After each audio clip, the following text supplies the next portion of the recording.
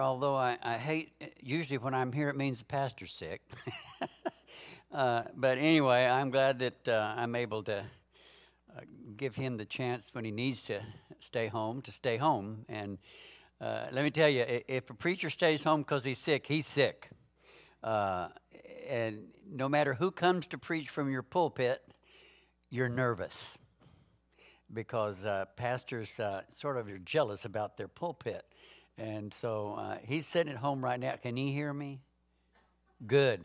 Uh, he will hear me eventually. Okay, well, that's a little scary. But anyway, um, they, they, they don't like, preachers don't like to give up their pulpit. And uh, I, it, to me, it, it's, uh, it's a privilege. And um, I'm, I'm pleased that he has enough confidence in me that he, he would give me this opportunity.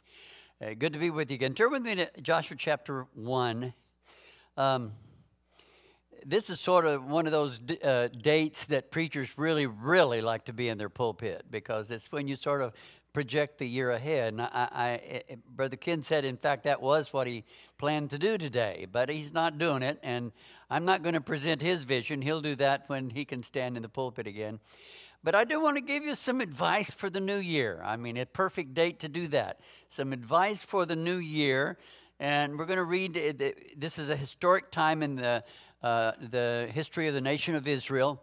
Uh, it's that date when uh, there's a leadership change, and the leadership change is after 40 years of having the same leader. In the United States, we change every four if we so choose. Uh, in Israel, it had been 40 years. So let's read Joshua chapter 1, verses 1 through 9 to begin. It says, After the death Moses, the servant of the Lord, it came to pass that the Lord spoke to Joshua, the son of Nun, Moses' assistant, saying, Moses, my servant, is dead.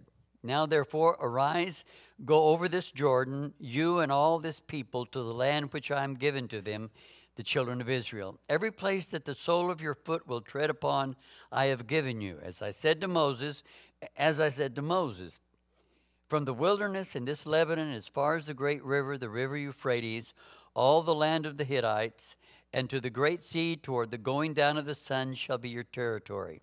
No man shall be able to stand before you all the days of your life. As I was with Moses, so I will be with you. I will not leave you nor forsake you. Be strong and of good courage. For to this people you shall divide as an inheritance the land which I swore to their fathers to give them. Only be strong and very courageous, that you may observe to do according to all the law which Moses my servant commanded you. Do not turn from it to the right hand or to the left, that you may prosper wherever you go. The book of the law shall not depart from your mouth, but you shall meditate on it in it day and night, that you may observe to do according to all that is written in it. For then you will make your way prosperous, and then you will have good success. So again, it's a, uh, it, it's a unique time in the, the, history of the nation of Israel. Uh, 40 years, for 40 years, Moses has been their leader. And they've just observed a 30 day period of mourning. And uh, you wonder what they were feeling as a nation. You wonder what they were thinking. Uh, it was just they were beginning or getting ready to embark on a, a, a brave new adventure, sort of what, like we're about to do here in 2022. And basically, the, the, the, instructions that Joshua receives from uh, the Lord for himself and for Israel is okay, you can look back for one last time, but make it the last time.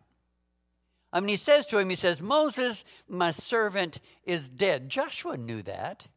That was pretty obvious. They just had 30 days of mourning. You knew that Moses was dead. Uh, and, and, and, you know, in a unique, it was a very unique thing. You know, Moses was buried by God himself. It's the only person in the entire scripture. You can read the, the entire Bible and you'll only find one occasion where God buried a person. He buried Moses' body. I have no doubt it was because he didn't want it to become a shrine. He didn't want the children of Israel to eventually uh, get into idolatry uh, involving the, the, the body or the burial of Moses. But, but God buried Moses. Now, Moses is dead, Joshua.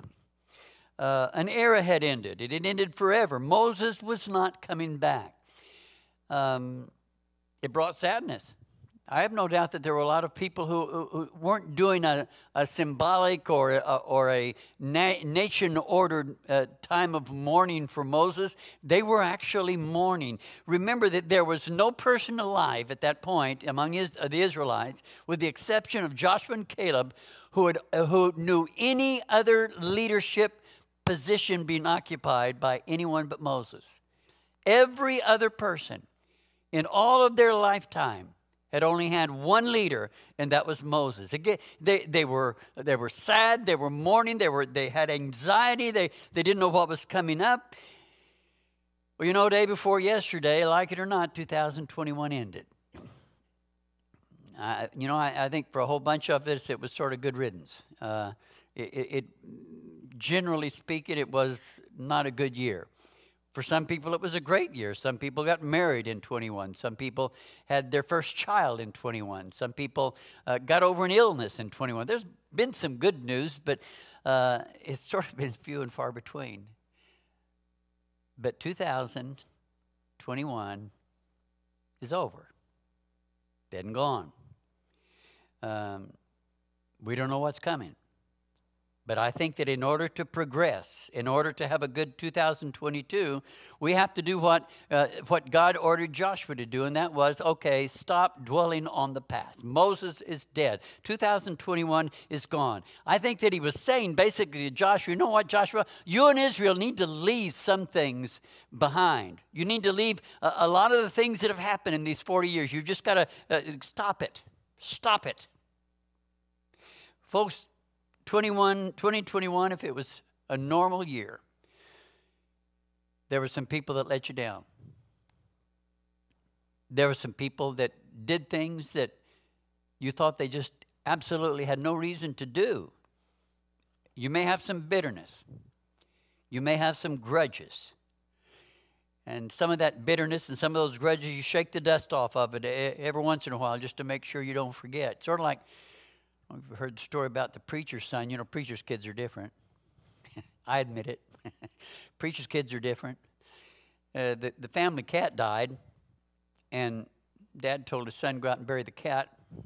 Well, you know, he had seen his dad perform all these funerals, and he thought, you can't just go bury a cat, you got to have a funeral. And so invited some of the neighborhood kids and preached a funeral sermon. They buried the cat. They found a shoebox, buried, buried the cat. For some reason or other, they left the cat's tail sticking up out of the ground when they buried it.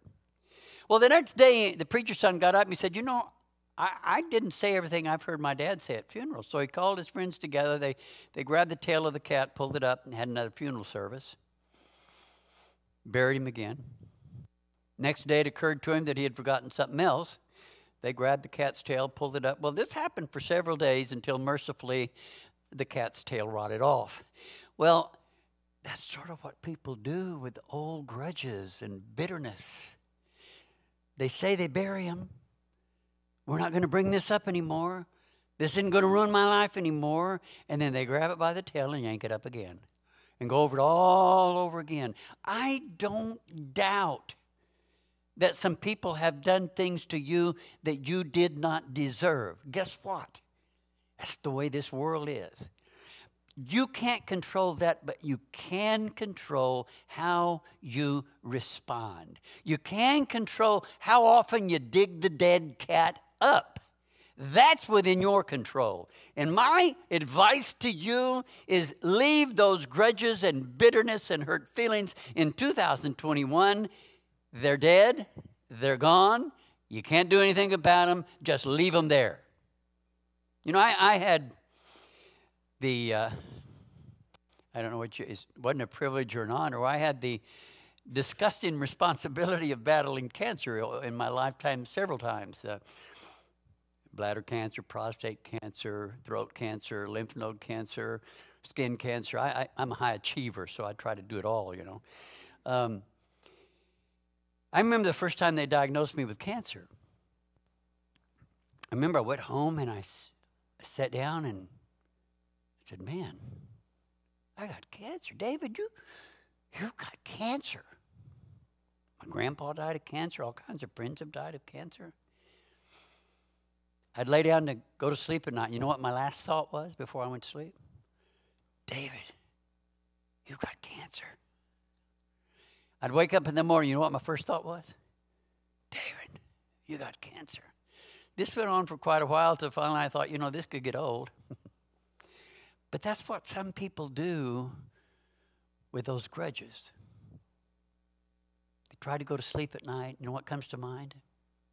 Can't believe he did that to me. After all that I've done for him, and all the favors I've done for him, and the good things, I just can't believe he did that to me. And they wake up in the morning, you know what the first thought is?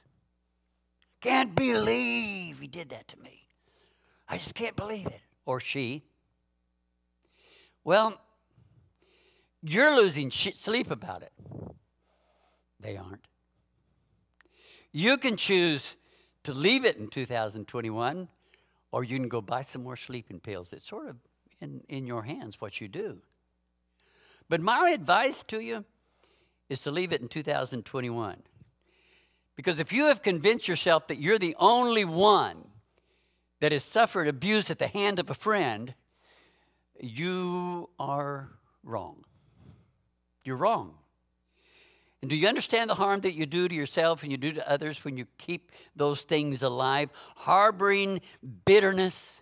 But do you know harboring bitterness and harboring, and, and harboring grudges is disobedience and defiance to the Lord's will?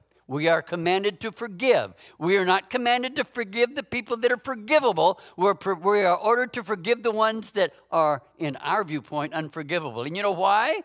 Because the Lord Jesus has forgiven us of what is unforgivable. And we're told by Paul that we should forgive as we have been forgiven. Wow, is that a pretty high bar or what? Because you know how the Lord forgave me? He forgave me once and then I did it again. And he forgave me twice, and then I did it again.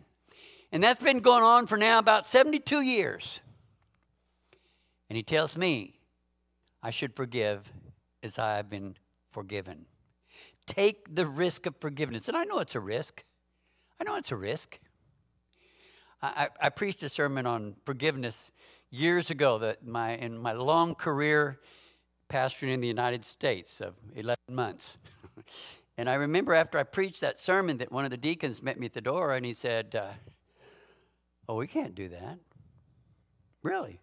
Now, I just read it out of Scripture. How can you say you can't do it? But, but that's what the deacon said. I, we, can't, we can't just forgive people. He said they'll take advantage of us. Well, maybe they will. I don't know. It is a risk that you take that if you forgive someone, they turn they slap you on one cheek and, and then you have to turn the other cheek. Wait a minute, isn't that in the Bible? yeah. You have to take the risk and forgive. Because we want to be forgiven, don't we? Psalms 32, uh, verse 1. I, I, want to read that to you, and, and then I want to add, add, a little something. It says, uh, Blessed is he whose transgression is forgiven, whose sin is covered. Blessed is the man to whom the Lord does not impute iniquity, and in whose spirit there is no deceit. That does not say, Blessed is the one who has never failed. It doesn't say, Blessed is the one who's never sinned. Blessed is the one who's never committed an error. It says, Blessed is he whose transgression is forgiven. I've been forgiven, so I must forgive. Uh, a lot of people are carrying loads today that they should not be carrying. Again, the load may be bitterness towards someone else, but the load almost might be also might be uh, that you're not willing to forgive yourself of something that God Himself has already said is forgiven. Do you do that? I can't believe I did that. I can't believe I said that. I can't believe I messed this up so bad. If God's forgiven me, I have the right to forgive myself. Now, others may not forgive me. But that really doesn't matter. My relationship with God is what matters. We, we, we could uh, let this heavy burden continue in our lives and destroy our lives, or we can say, you know what? God's forgiven me. I forgive myself, and I'm now I'm going to go on and do it, be a better person. But there's something else we ought to leave in 2021, and this may sort of surprise you. And, and it's, it's sort of difficult for those of us who are over the age of 39 and that is, we sort of have to leave our spiritual victories in the past. Now, I, I love telling stories. my, my kids, when I preach, they tell me how many times I've told that story every time I tell a story. I've started thinking about maybe just putting a number on them and just say number 23 and they'll all know which one I'm talking about. But uh, I like telling stories, and I have to actually think it through a little more now because at my age, it's sort of neat to just dwell on the past. I've had, I've had so much fun. you know, I, I sort of laugh at people and say, "Oh, I'm, oh, brother David, I'm, I'm so, you, you impress me so much with your sacrifice." I don't know where the word came from. It's ne- I don't ever believe it's a sacrifice to be right in the smack dab middle of the Lord's will. If that's a sacrifice, I mean, what, what could a blessing be?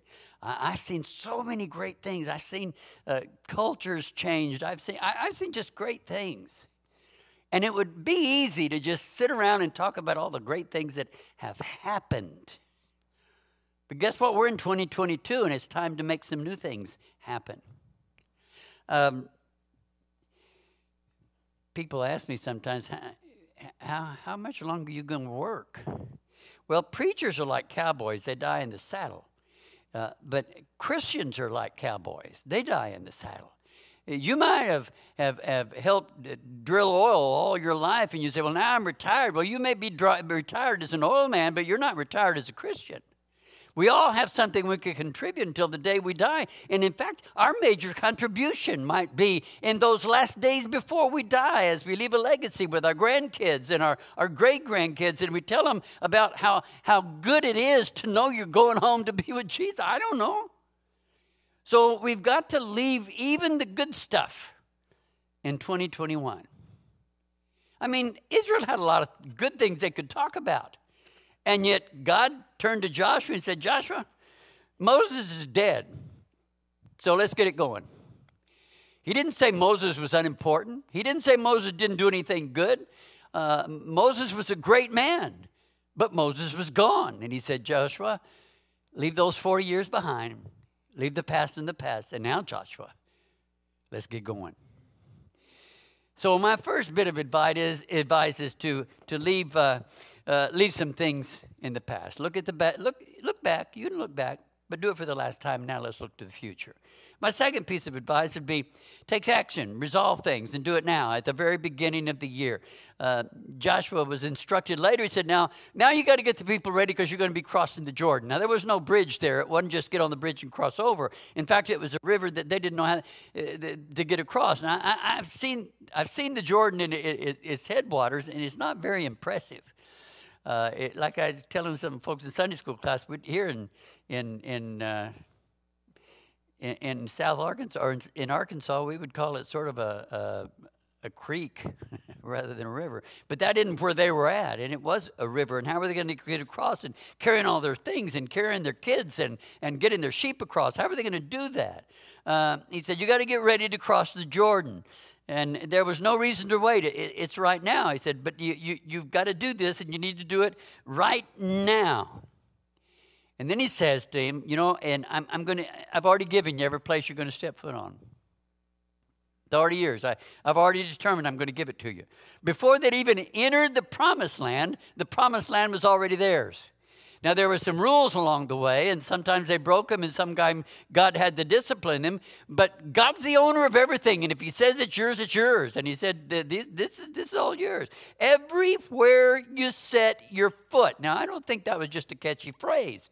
That's actually literally what He meant. Every time they took a step, wherever that footprint fell, it already belonged to them. But they had to get across the River Jordan.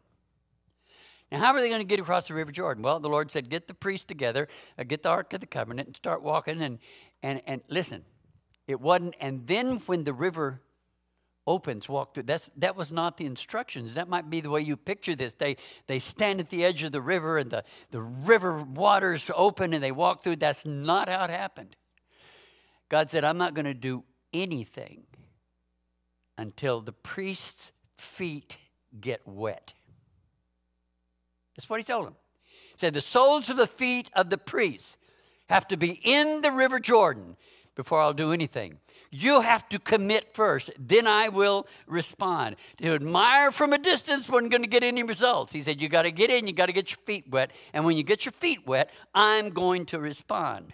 And then he said, He told Joshua, No one is going to be able to stand up against you all of your life. A lot of times we're afraid to get our feet wet, aren't we?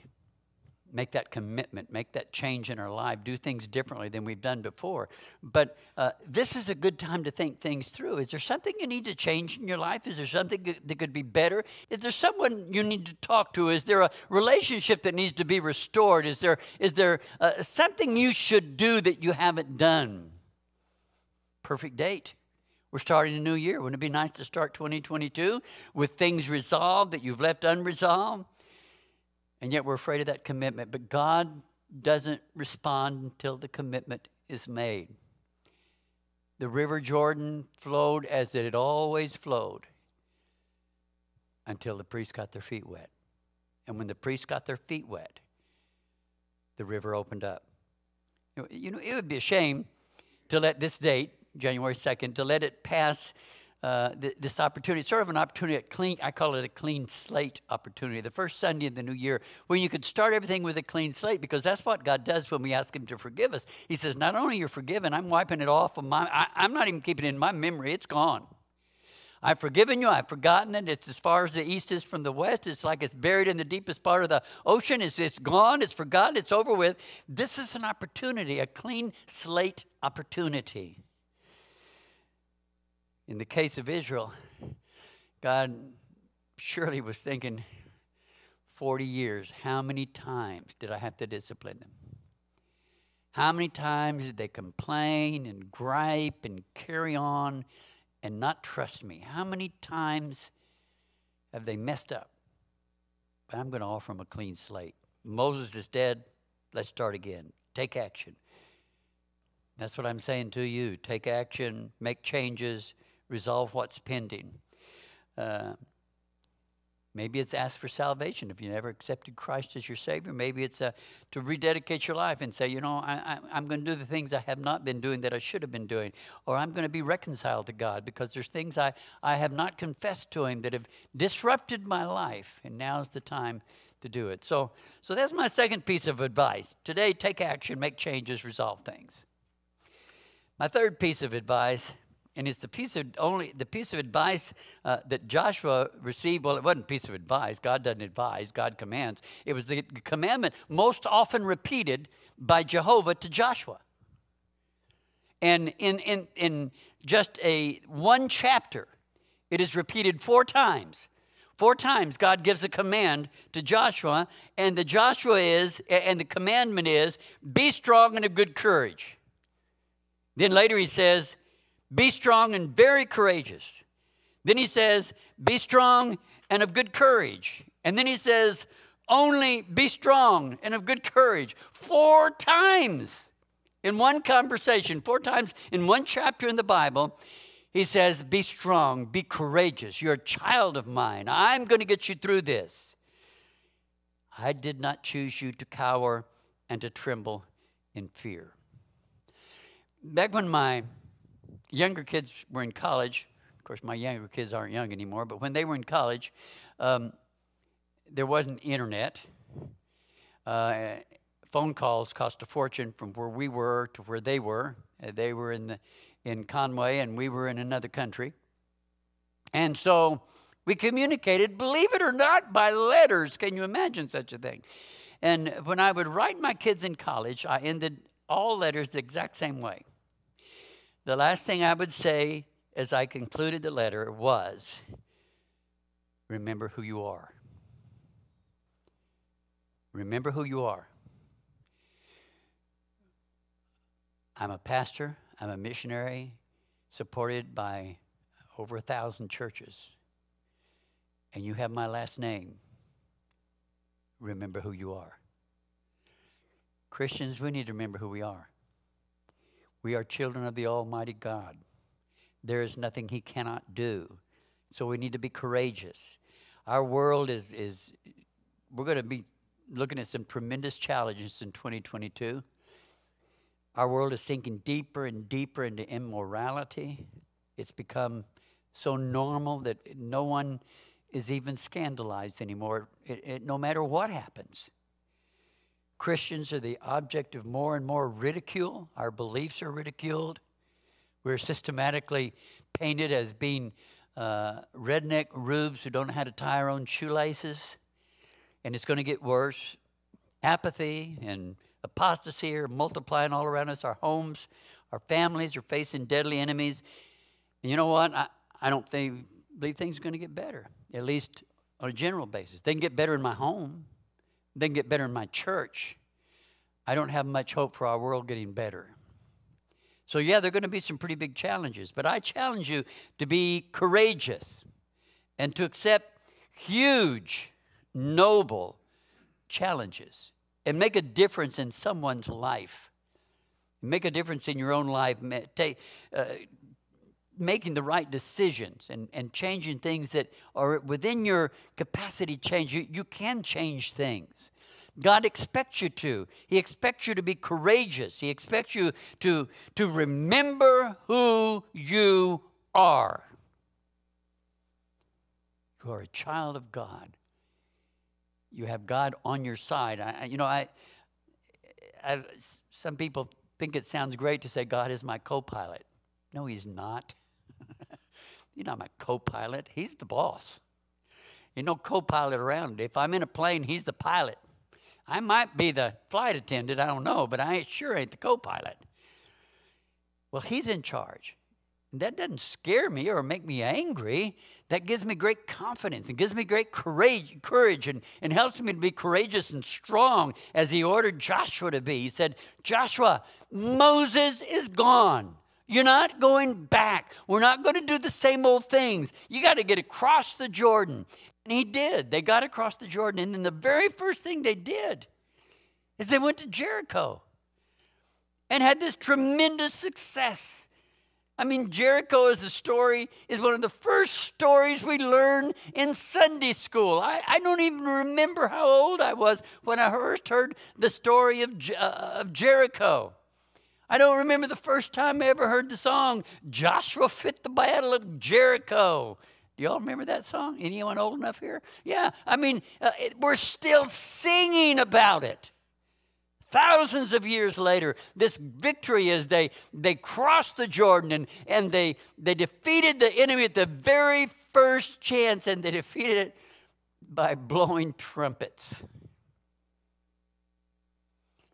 Same God. Joshua's Jehovah is my Jehovah. Joshua's God is my God. I can expect him to be as great in 2022 as he was back there when they were walking around the walls of Jericho. So I challenge you to do what you need to do, what you should do, even if it's going to require a bit of courage and, and, and some big changes. Consider the prize not the price of being obedient.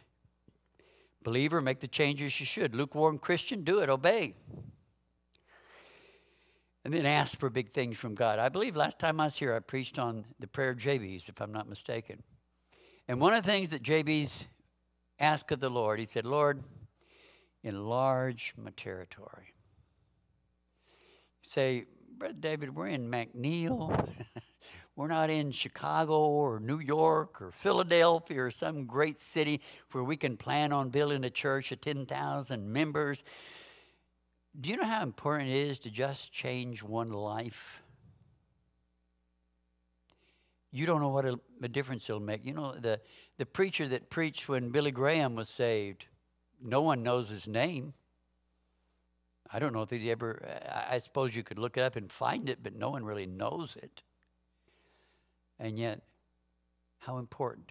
No one knows the name of the preacher that was preaching when Charles Spurgeon was saved in England.